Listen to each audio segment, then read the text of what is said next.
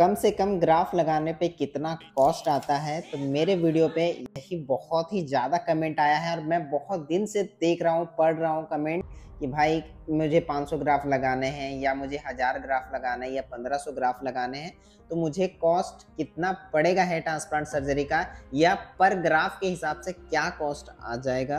तो प्लीज़ भैया आप मुझे बता दो मुझे भी हेयर ट्रांसप्लांट करनी है। सबको मैसेज करना पॉसिबल नहीं होता है बहुत ज़्यादा कमेंट आता है जिसका कमेंट दिखता है उसका कमेंट का रिप्लाई देता हूँ। जिसका छूट जाता है वो सोचता है भाई मैसेज का रिप्लाई ही नहीं देता बहुत ज़्यादा कमेंट आते हैं इसकी वजह से जो कमेंट मैं पढ़ पाता हूँ उसका ही रिप्लाई देता हूँ। आप लोग तो वीडियो को लाइक भी नहीं करते हो इसलिए मैं बहुत दिन के बाद वीडियो बना रहा हूँ। भाई आप लोग लाइक नहीं करते हो ना सपोर्ट दिखाते हो। तो मैं आगे वीडियो कैसे बनाऊँ मुझे भी मन नहीं करता वीडियो बनाने का। लेकिन मेरे वीडियो पे बहुत ज़्यादा कमेंट ये आ रहा था, इसलिए मैं आज वीडियो बना रहा हूँ। कि कम से कम आप अगर ग्राफ लगाते हैं तो आपका खर्च कितना आएगा? ज़्यादा लगाने पे क्या फ़ायदा है और कम लगाने पे क्या फ़ायदा है या नुकसान है? चलिए मैं आज की इस वीडियो में आपको बताऊँगा। सबसे पहले बात करते हैं मेरे हेयर ट्रांसप्लांट को लेके। जब मैं अपना हेयर ट्रांसप्लांट करवा रहा था तो मेरा जो हेयर लाइन था, ये इतना ऊपर तक चला गया था दोनों साइड से। हालाँकि किसी किसी का बीच से चला जाता है, ठीक है? तो किसी किसी का बाल रहता है लेकिन बालों में बहुत ज़्यादा गैप रहता है। सबका अलग अलग तरीके से बाल उड़ता है। किसी किसी का मेरी तरह ही उड़ा होगा किसी किसी का बीच से उड़ गया है किसी किसी का बाल है लेकिन बहुत ज़्यादा गैप है। तो उनको भी सर्जरी करना ही पड़ेगा। लेकिन उनमें से कुछ ऐसे बंदे हैं कि मतलब हेयरलाइन ठीक है हाँ, तो हल्का सा मतलब हेयरलाइन एक उंगली एक एक इंच बोल सकते हैं कि एक इंच एक साइड से चला गया है और एक साइड बचा हुआ है या दोनों साइड से चला गया है। तो वो बंदों का मतलब ग्राफ कम ही लगेंगे 500 ग्राफ लगेंगे या हज़ार ग्राफ लगेंगे या 800 ग्राफ लगेंगे या 1500 ग्राफ लगेंगे। तो इतना कम ग्राफ में आपका क्या कॉस्ट आएगा, ये सभी बंदों का डाउट है और मैं भी चाहता हूँ कि आपको मैं बता दूँ परफेक्टली कि आपका जो ये डाउट है कि कम से कम ग्राफ लगाएँगे तो आपका क्या कॉस्ट आएगा। तो मैं आपको बताऊँ कि ट्रांसप्लांट का जो कॉस्ट आता है ये एक फिक्स अमाउंट एक स्टार्ट होता है, ठीक है ना? इसका कोई मतलब ऐसा नहीं कि आप 10 ग्राफ लगाओगे तो इसका बीस रुपए के हिसाब से लगा देगा और आप पाँच सौ छः सौ रुपये में अपना सर्जरी कर लोगे। ऐसा नहीं है भाई। अगर आपके जैसे ज़्यादा ग्राफ लग रहे हैं तो वहाँ पे कॉम्प्रोमाइज़ हो सकता है कम हो सकता है, ठीक है? लेकिन अगर आप कम ग्राफ लगा रहे हैं और उसमें आप डॉक्टर को बोलोगे कि नहीं दस रुपये ग्राफ दूँगा या बारह रुपये ग्राफ दूँगा या पंद्रह रुपये ग्राफ दूँगा तो आप सोचो कि अमाउंट कितना कम जाएगा। मतलब आप तीन चार हज़ार में ट्रांसप्लांट कर लोगे तो ऐसा नहीं है दोस्तों।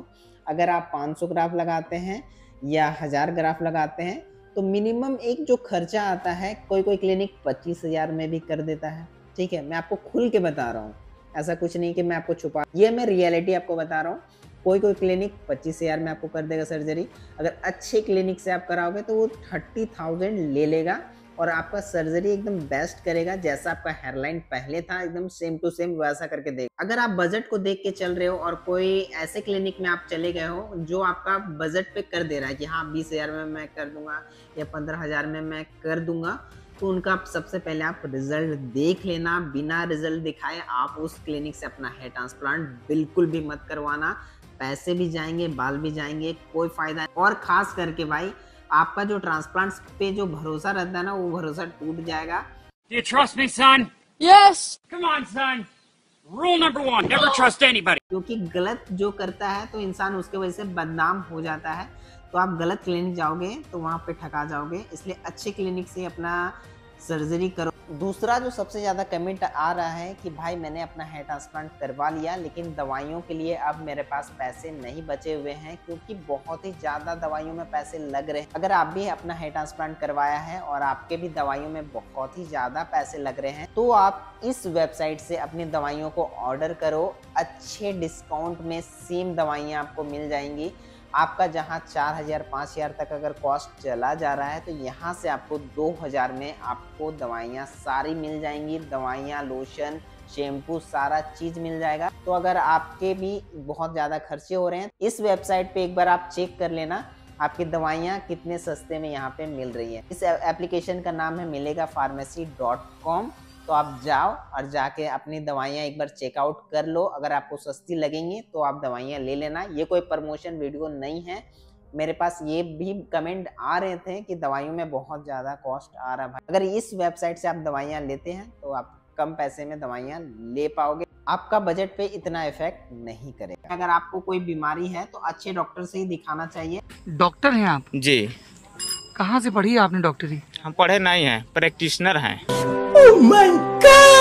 ऐसा नहीं है कि पैसे के चक्कर में किसी झोला छाप डॉक्टर से आप दिखा लिए और सोचोगे कि नहीं, ये बीमारी ठीक ही नहीं हो। मैं तो डॉक्टर से दिखा दिखा के थक चुका हूँ।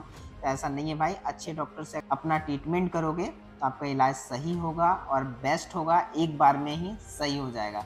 तो अगर आपका 500 ग्राफ लगेगा या हज़ार ग्राफ लगेगा 25 से 30 हज़ार पकड़ के चलना और दवाई और ब्लड टेस्ट का खर्चा अलग से आता है। मैंने पिछले वीडियो में आपको बता रखा है कि दवाइयों में कितने खर्च आ जाते हैं और बाकी खर्चे कितने आते हैं, वो सारे चीज़ मैंने बता दिया है।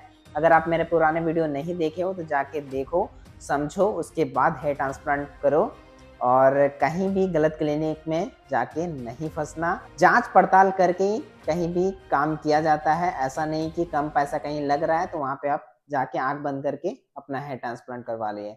तो वहाँ आप फंस जाओगे